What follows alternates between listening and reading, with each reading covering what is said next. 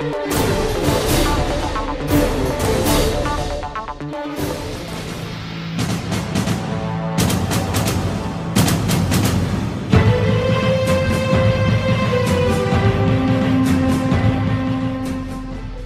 Vuković, star 35 godina, likvidiran je 12. decembra 1994. godine ispred Jugoslovenskog dramskog pozorišta u Beogradu.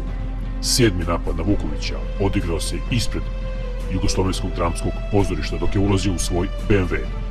Očevici kažu da je pre nego što je počela pucnjava Vuković pogledao ispod svog automobila da slučajno nije podmetnuta bomba. Vuković je bio u društvu dva prijatelja. Kada su seli u auto, trojica maskiranih napadača su prišli iz parka Manjež i iz automatskog oružja sasuli u smeru Vukovića 25 metaka.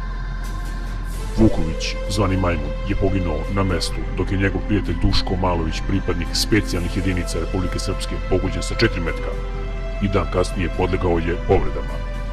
Treća osoba prošla je bez povreda. Na licu mesta nađeno je 168 čaura. Vuković je u Beogradskom podzemlju ostao poznat pod nadimkom Majmun i kao ubica Ljube Zemunca 1986. godine, zbog čega je ležao pet godina u zatvoru u Nemačkoj, a potom se vratio u Beograd. Bio je vlasnik nekoliko noćnih klubova u Beogradu.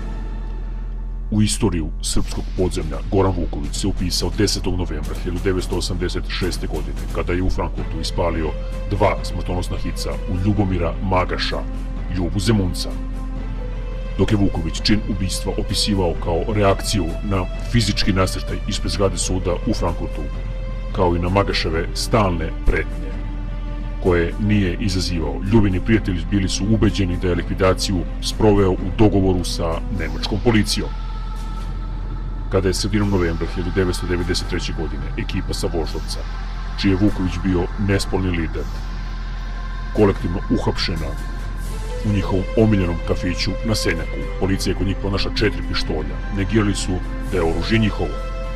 Po na slobodu tvrdili su da su dvojice najmlađih iz ekipe u policiji preživeri torturu, a Vuković je za novin izjavio Oni nas izazivaju, a svi mi molimo Boga da dođe još jedan 9. mart. Ne da se borimo politički, već da se bijemo s policijom, kao što je to radio Giška. Godinu dana kasnije, mladić iz ove družine uveravao je kako je ta rečenica bila glavni razlog za Vukovićevu likvidaciju. To što je rekao ubrzalo je realizaciju plana da mu dođu glavi, jer je već postao opasan protivnik u svakom pogledu da je država na neki način možda umešana u Vukovićevo smaknuće. Potkrepljuju dve okolnosti. Prva se odnosi na sukob koji je Vuković imao u društvu svog prijatelja. On je imao sukob sa policajcima tadašnjeg saveznog MUPA u noći između 14. januara 1993. godine naspram mesta gdje su redovno dolazili, uočili su siluetu skrivenog čoveka i prišli su mu s leđa. Oduzeli su mu škorpion i dokumenta među kojima je bila i legitimacija Saveznog ministarstva unutrašnjih poslova na ime Milovan Zorić. Naišao je i drugi naoružani policajac, Radojica Dožić. Usledila je prepirka, gušenje, otimanje oko oružja. I potom oružani obračun.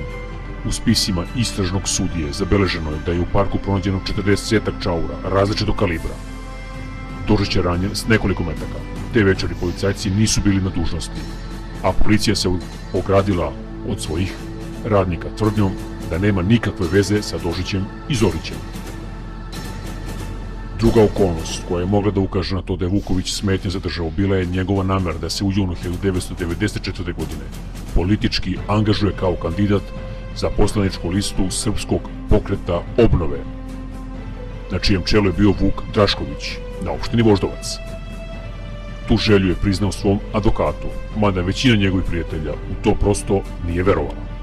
Par meseci pre likvidacije Vuković je izjavio da zna da postoji spisak osoba koje treba da budu likvidirane. Da li je Vukoviću druženje sa Vukom Draškovićem došlo glave ili ga je stigla osvetnička ruka Ljube Zemunca, ni posle 27 godina niko sa sigurnošću ne može da kaže.